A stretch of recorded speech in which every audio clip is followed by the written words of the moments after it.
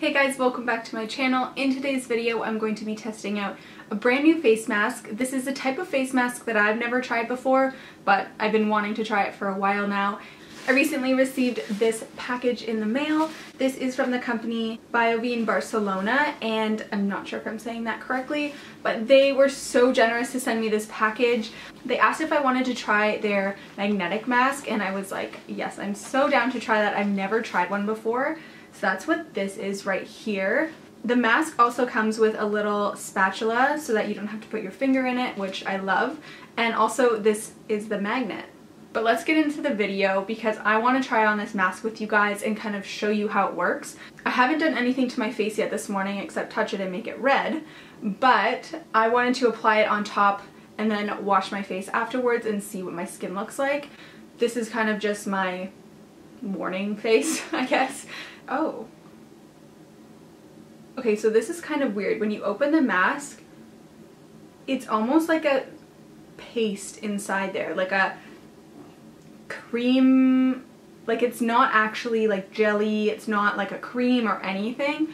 Hence why I think that the spatula comes in handy. Can you guys see it? It's It looks to me like a clay. It's so weird. The consistency of this is throwing me off. I assumed that it would be a liquid and just kind of like paint it on. But because it's so thick,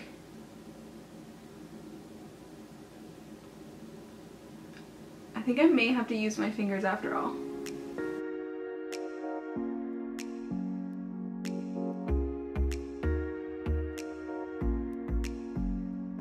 It smells really good. It smells almost like fresh cucumbers or something.